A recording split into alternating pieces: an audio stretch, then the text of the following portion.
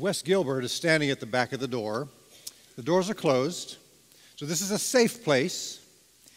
And so I would like you to, anyone who would like to admit this morning, and be honest, who here enjoys Hallmark movies? Okay, good. Thank you. You can put your hands down now. We're, we're in the same camp now. Good. Uh, there's three friends Bran and Panda and Dan, who've been friends for five years. And they're always looking for excuses to hang out. So this year, 2018, they've decided to watch all 37 Hallmark Christmas movies. Now, Bran loves Hallmark Christmas movies. Panda likes Hallmark Christmas movies, but Dan despises them. So if you want to hear their comments, go to deckthehallmark.com. For real, deckthehallmark.com. You can hear them podcast about how they interact with Hallmark movies. But you know the titles of the Hallmark movies this year? Uh, some Hallmark movies this year are Christmas in Love, Marrying Father Christmas, Falling for You, Love in Design, Season for Love, Love at Sea. I mean, do you see a theme here? I mean, come on, please. You know, I mean, Christmas movies at Hallmark are essentially love stories, aren't they? And they just happen to have Christmas in the background.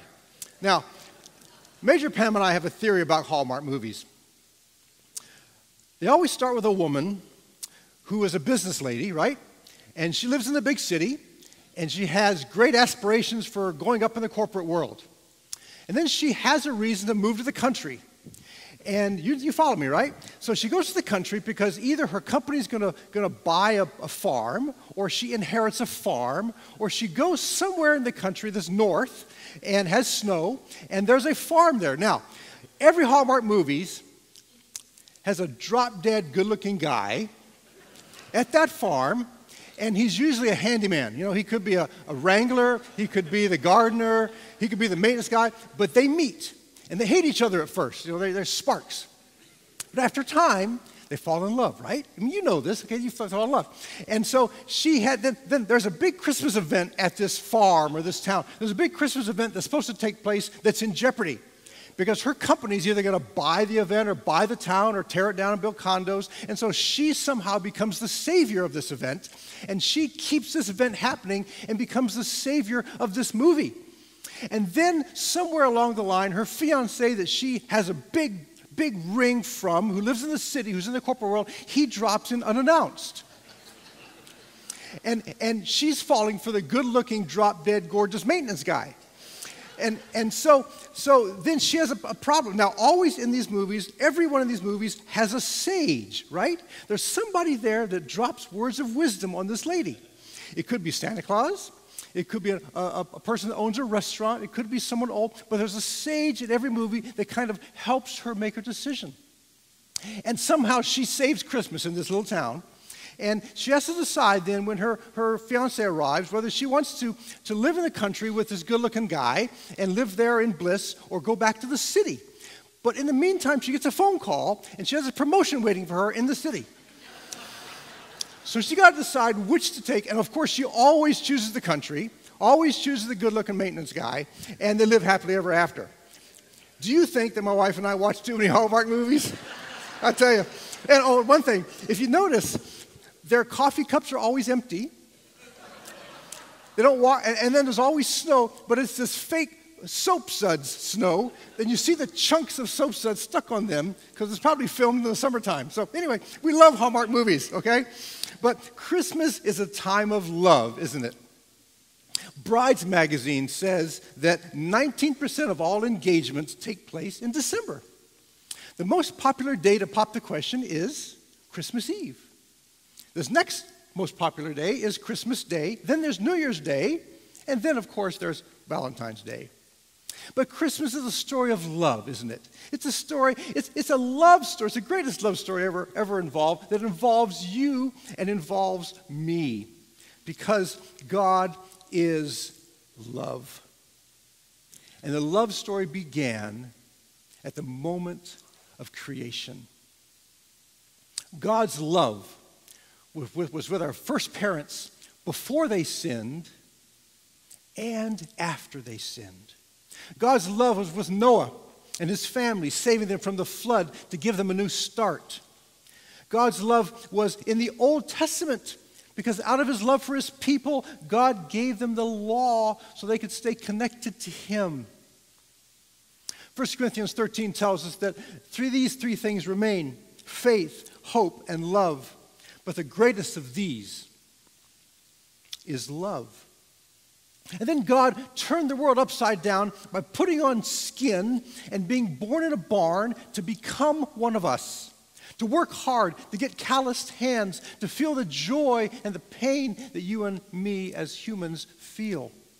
Now, this love that God showed us is not this gushy feeling that we may get in our stomachs when we first fall in love. That may be indigestion. But love is demonstrated in action. The most familiar verse that we know out of a, a, Bible version called the Voice Bible goes like this. For God expressed his love for the world in this way.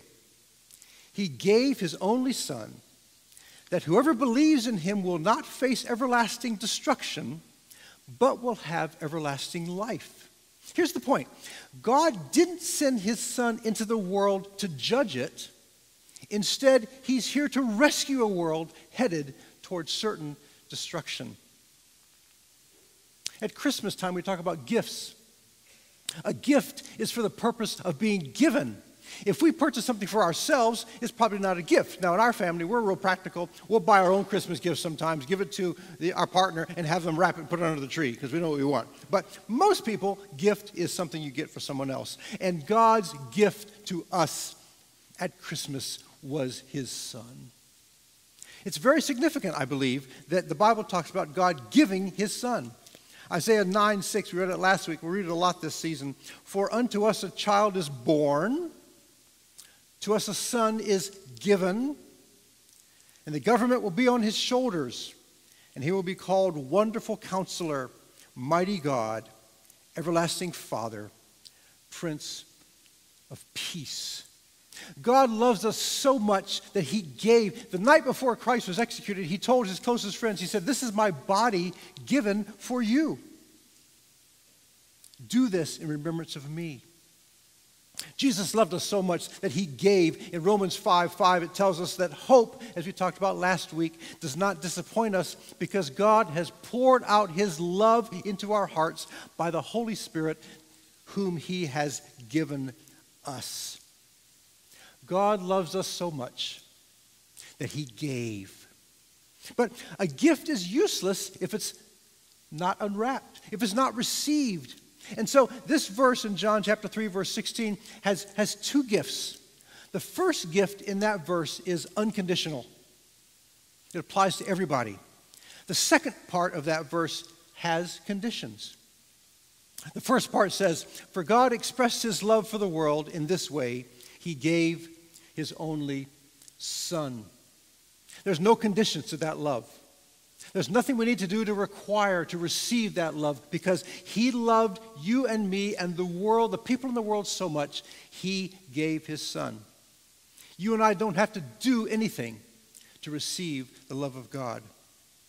God gifts, God's gift of love is for every person on this earth. If you happen to look at the night sky and conclude, like the late Stephen Hawking did, that God is superfluous, that he's not needed for the universe to exist, God's love is for you. If you've known him in the past, but you've made the conscious decision to turn your back on him and exclude him from every area of your life, God's love is for you. If you have caused unspeakable heartache to family or betrayed the trust they have in you, God's love is for you. If you have shaken your fist at God and said, Where were you when I needed you? God's love is for you. And, because of, and out of this love, He gives us a choice. So the second part of John 3:16 talks about a condition because he loves us so much that he's given us freedom to believe in him or freedom to choose not to believe in him. He gave, we receive, and the gift we open is an everlasting life of love with Him. So if we choose to believe, it shouldn't stop there. We should not hoard this gift of love, as Major Miller mentioned earlier, because we need to regift that love, don't we? I once got a birthday card. This is the truth, true story. I got a birthday card from a friend, and the card, the card had nothing written on it, but it had a, a like a, a, note card inside, and, and her message was on the note card. And on the note card, she said, "When you finish reading this, send the card back to me because I wanted to send it to somebody else." And that's the truth. I did, and, and someone else got that same card um, because she didn't put her name in it, and, and she loved that. She regifted that card to someone else. And as I was working on these thoughts, okay, I was, I was sitting at home and, and working, putting this together. As I was studying the scriptures about love, an email came through while I was studying the scriptures on love. And it was from one of my classmates in Japan as a child. I knew him from the second grade on. He's a missionary in Japan right now. And he sent a note to our classmates with this illustration. Story about Eric Liddell. You may remember him from the movie Chariots of Fire years ago. He was an Olympic gold medalist from Scotland. And he was a missionary in China during World War II when the Japanese occupied China. He had worked at a place called the London Missionary Society Hospital. Now, this was a time when Japanese and communists both hated Christians and were killing Christians for their faith. And Japanese soldiers, the enemy, were brought into this hospital, and the medical staff would not treat them because they were the enemy. They were here to kill people. But when Eric Liddell arrived, he gave help to anyone who needed it, no matter what side they were on politically. And he was asked by these, these Chinese people there, How can you help Japanese soldiers when they were killing so many Chinese people? His answer was this I see every human being as someone who God loves. Eric Liddell was regifting God's love. And, and that regifting spread so much around that hospital that soon Chinese and Japanese, enemy, friends, everyone found medical help at that place because of his regifting love. Not long ago, Major Pam received a, a Facebook message from her niece who explained something about her 10 year old son. This is what she said. The, the niece wrote, He explained to me that they have a new kid in class with autism. He says, He's my friend. He's not different. He's just special in his own way, like everyone else is special in their own way. Words of a 10 year old. He fits right in, and everyone treats him just like he's part of the group. So her niece writes, I asked him if anyone's bullied him. This 10 year old boy said, No, but I told my teacher that if it happens, I will be his friend and stick up for him. A 10 year old boy who's regifting the love that's given to him and regifting it to a young boy who needs that. This morning, our challenge is are we regifting that love to someone else? We're never too old, we're never too young. We don't have to be Bible scholars. We don't need a college degree. All we need is to receive the gift of God's love, which He provides for us. And once we receive that gift, then you and I can regift that gift. This morning, who do you know who could use the regift of God's love this holy season? Where, where do you see the spark of God's love in your life? Who, who today needs a touch of kindness and encouragement through you or through me? Who needs us to regift that love to them? We're going to sing our chorus, Oh, come, let us adore him. As we do, I'd invite you to just look at the front of the source here because there's questions on the very front here, if you see that. And some of these questions we mentioned what darkness might you be facing? Where do you see the spark of God's love in your life? What, who today needs a touch of kindness and since love lights the way, how can all our Christmas celebrations be driven to be expressions of love? Who can we regift God's gift to us to this morning. Let's think of those thoughts as we sing on our chorus. Oh, come let us adore him, Christ the Lord. Of course, you may come kneel here if you feel you can adore him better here. If you can adore him in your seats, that's perfectly fine. You know the words. Close your eyes, bow your heads. Let's adore him for these next few moments as we worship him and receive the gift of love that he has given to us. Oh,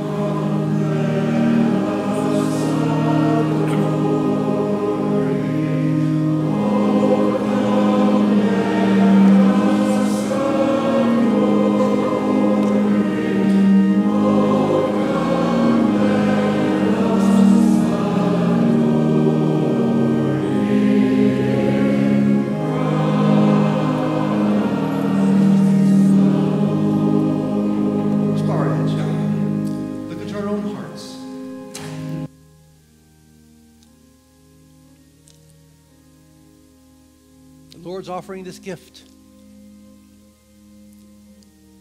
He's giving it to us free. All we need to do is accept it. And then once we do, let's regift it.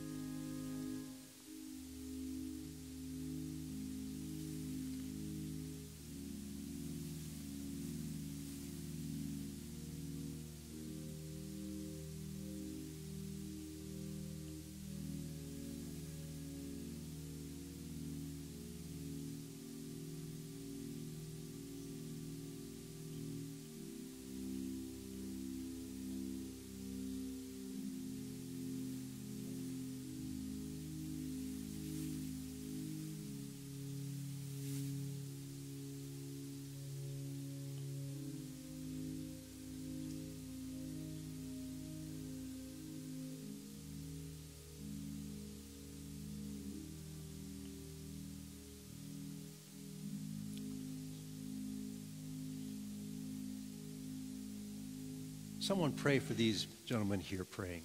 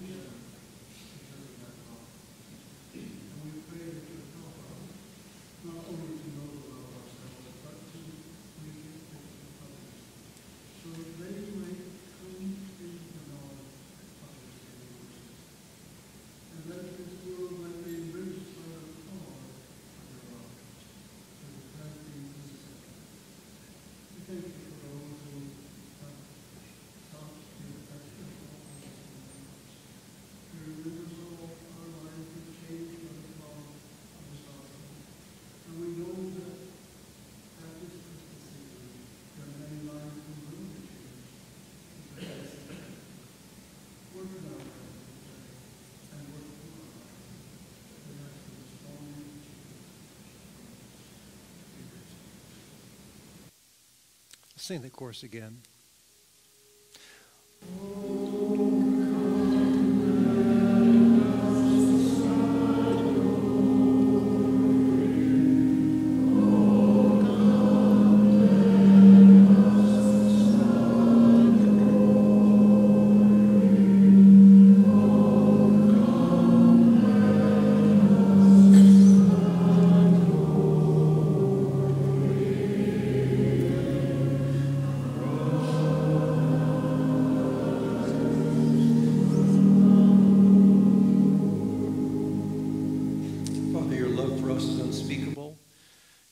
Us is beyond our wildest imagination. God, we thank you for caring for us, for putting skin on and, and knowing what it's like to be one of us. And as we go through this season of Advent, the season of remembering that first Christmas, but also looking forward to your return again, may we continue to receive your love and to regift it to those around us. Thank you for your blessings and for your Holy Spirit being here today. For it's in your holy and your precious name we pray. Amen.